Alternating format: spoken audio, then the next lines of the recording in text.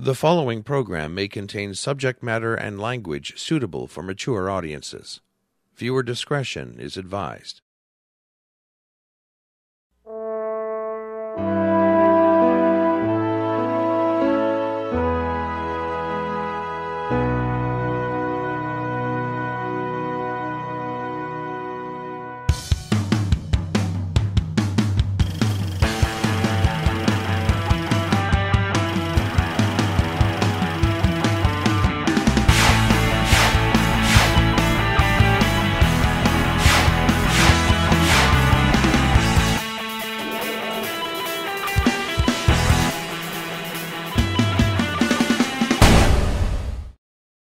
And welcome back to episode two uh, of The Meltdown. Uh, his name is Jeff. And his name is Norm. And today we are talking about where we came from, and that is genealogy, or the study of where we came from, I should say.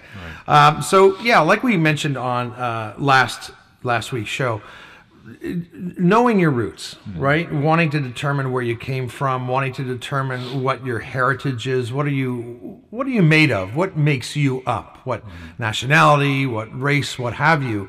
Um, that can be a, a, a great thing to learn, or maybe not so good if you find out maybe you were re- related, you know, to someone you might not want to be related to, or you, you know what I'm saying? Like, Yeah. there a genealogy has opened a lot of doors and uh, in our stupid stupidness today we're going to discover uh, some of the horror stories that people have come across uh, by taking these dna tests and learning more about their their past so stick around for that um, first we're going to look uh, at six weird but true facts about genealogy and then we will have our good friend lou Saracino in to give us his take on Roots. I can't wait to uh, to watch that. So let's begin the show. Jeff, do you want to take us to our very first segment? All right, it's time for some meltdown fun facts. All right, here we go. Six weird but true facts about DNA. Okay. I think before I'd said six weird and true facts about genealogy. Scratch that. We're going to be looking at six weird but true facts about DNA. Do you know what DNA stands for, Jeff? Oh, I used to know, and you know, at the moment it it escapes me. No, I don't remember. Do you ri- Diarrhea? deny No. Uh, denial? You No, can't spell no, no. DNA I just had it. I just had D- it. I just had it. Can't spell It's- denial without No, it's one of the, it's one of these words. Um, deribonucleic acid. Ah. Deribonucleic acid. DNA. There you go. Okay. Okay. Number one, your DNA could stretch from the Earth to the Sun and back 600 times. Oh. If unwound and linked together, the strands of DNA in each of your cells would be six feet long. With 100 trillion cells in your body, that means if all your DNA were put end to end, it would stretch over 110 billion miles. That's hundreds of round trips to the sun. So there you go. And you know, uh, we at the Meltdown, we like evidence of things. So if anyone is willing to go out there and have their uh, DNA stretched that six feet from every single cell in your body, uh, I, I'd like to personally test this fact out. I'm I sure- think that would sure be pretty fair cool. People yeah, would be willing to Yeah. to uh, participate in that. it'll be the ultimate test you'll take because you ain't coming back from that. all right, uh, number two, we're all 99.9% alike. Wow. Of the 3 billion base pairs in the human genome, only 0.1% are unique to us. While that 0.1% is still what makes us unique, it means we're all more similar than we are different. Here's another fact genes make up only about 3% of your DNA. Genes are short segments of DNA, but not all DNA is genes. All told, genes are only about 1 to 3% of your DNA. The rest of your DNA controls the activity of your genes. So, what do you think of that? I keep thinking of pants. I know you're not talking The about activity? Oh, I've got activity in my jeans. I'll tell you that much. That's what Jeff is saying. I didn't say it. That's what Jeff was saying. He's got activity in his jeans. Okay? That's disgusting. Now I'm Jeff. thinking of Blue Jean by David Bowie. My Oh, uh, what a great song. My mind is racing here. I know. I know Well, you're talking about scientific genes. My mind is racing and I got activity in my jeans. We all know what Jeff's Is that- thinking about, huh? Wasn't that one of the rejected David Bowie lines? Yes, yes. That one's not going to work. All right, here's another uh, fact. A DNA test can reveal you're more Irish than your siblings. No. Your sister could be much more Irish than you, and this is true for any of over 350 regions covered by the Ancestry DNA test. So your sibling could also be more or less British, Nigerian, or Scandinavian than you. Well, kind of an interesting fact if you have siblings and you know it's different because I guess maybe you just oh he's got more of the Irish in him, you know.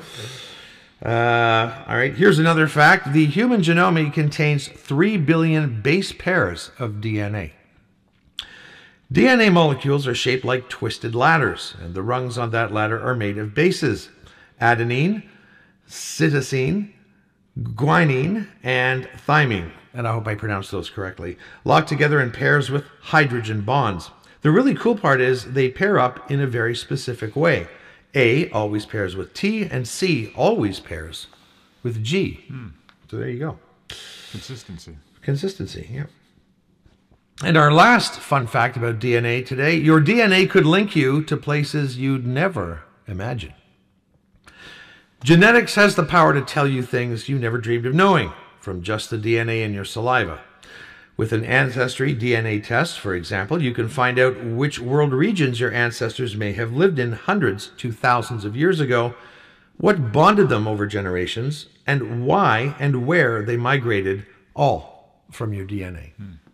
So I mean that is interesting, and certainly it's it's uh, you don't obviously this this information came from ancestry.com, which is why they they they mentioned. I think they're one of the largest. There's Ancestry. There's uh, is is the one two three and me a separate company, or is that also Ancestry? I'm not sure if that's part of it. But it's all about taking a DNA test and you know finding out what makes you up and stuff. And I think many many many years ago, if I'm if I'm not uh, mistaken, DNA tests were being recommended to see if you were susceptible to maybe certain illnesses or or what have you, right? Uh, certain issues in your body, medical things, what have you. And I think more recently, DNA tests are now, and I think they're very popular now because people just want to find out what their background is. Never mind, you know, that kind of information. Yeah. Um, and you know, sometimes when we go exploring in life and we, we want to find the truth, we want to dig into something really deeply. Sometimes we find stuff that maybe we didn't want to find, and that's coming up uh, in our stupid stupidness segment. But first, we're going to go to a funny little segment in which we call. A meltdown minute with Lou.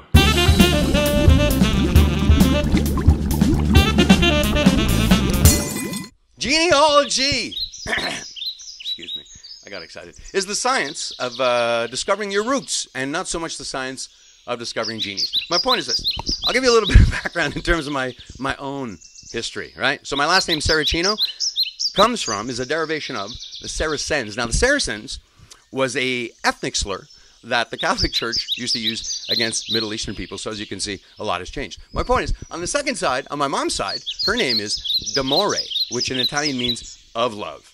And what that means is that in feudal times, when the king or the prince or whatever would go into town and have a little wah wah with somebody, right, and they have a baby, that bastard child was called a child of love. If you have any questions as to why I'm having a struggle generally with life, that might break it down a little bit for you. And then further to that, I'm Italian. Now, here's the thing Italians invented both opera and the mafia. There's going to be a little drama. You understand? Somebody's going to be yelling at some point. Genealogy. Thank you, Lou, and now it's time for some meltdown stupid stupidness. All right, so we're going to have some fun with this. Uh, here's a list 10 people who did Ancestry DNA tests for fun and got more than they bargained for. And these are actual stories from actual people who took the test. So here's our first one. My mom did 23andMe this summer. It came back saying my uncle was only a half uncle. She asked family friends, and it turns out my grandmother had an affair and passed my mom off as her father's kid, a fact that my grandmother clearly intended to take to her grave, but science caught up. Hmm. Family secrets, right? That's what this exposes in all of these cases. Yeah. Here's the second one. In my genetics class, we do a blood typing lab, and our teacher told a story about her first year doing it where there was a girl who had a blood type that meant her dad couldn't be her actual father, and the mom, who also worked at the school, got caught cheating. So far, too it makes me want to laugh. You know, here's the thing. You know, when you commit, when you, I'm, I'm, I'm going to go off all preachy here, but you know, when you commit a crime, I'm just saying, and I'm sorry, but cheating is a crime. I, I, I don't care how you look at it. Cheating is a crime, right? You're just not supposed to do it. Uh, when you commit a crime like that, you will be caught. Maybe not today, maybe not tomorrow, but you will be caught. What do you think about that, Jeff? What do you think of that Yeah, little well, tirade? uh, huh? Especially now with, with, with science, obviously, Yeah. and just maybe guilt feelings as well, which So I don't uh, be careful what you do, is my point, right? And watch what you say and do in public because there's cameras everywhere. Hmm. You're always, you know, as soon as you step out of your house, Jeff, never mind with, you know, traffic cameras, right? I mean, there's, there's traffic cameras all over the city. Yeah. They look at intersections, they can see things. Yeah. People now more than ever have dash cams on their cars. And so they can you, you can be spotted in so many different ways. At so every store you go into has security cameras. Mm-hmm. Watch what you do and say in public, folks, because it's going to come back and bite you in the ass. I'm telling you this. Be careful. I've heard too many stories of, of just people doing shit and then they're all shocked when there's video evidence of them doing it. And they'll flatly deny it. And you can't get away with that unless you're Donald Trump. Because he can deny everything. And now, as I digress, we shall return to our list of uh, horror stories. And here's another one from a user. A former coworker of mine took the test and found she had a different father than her sister, and neither were related to their father. She decided to confront her mom about her infidelity. She found out that her mom and dad were into group sex and that the biological fathers could be a number of gentlemen. hey, I don't know who your dad is. Could be that guy, could be that guy, could be the mailman. I don't know. We had sex with everybody. How would you like to? How would you like to? Anyway, we'll talk about this afterwards. All right, here, here, here's here's another one. So I did ancestry.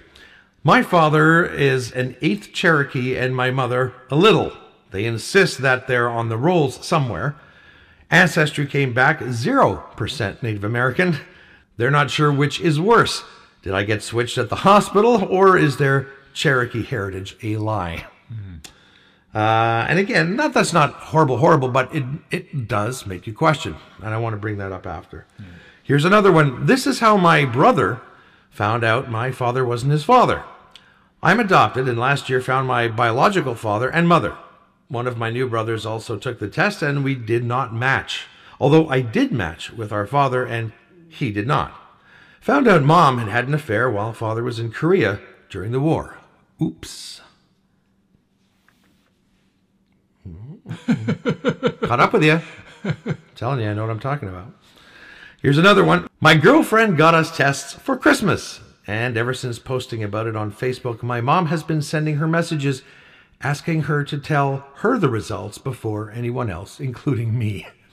So, mom knows something that she doesn't want to come to light again, giving you that finger, that waving finger. uh, uh, the told you so finger. Okay, here's uh, here's one more. My wife had been told she was of Native American descent her entire life. Supposedly, her great grandmother was full blood Native. This is a story her family still preaches to be true.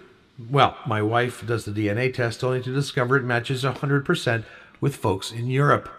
Not a drop of Native American in her.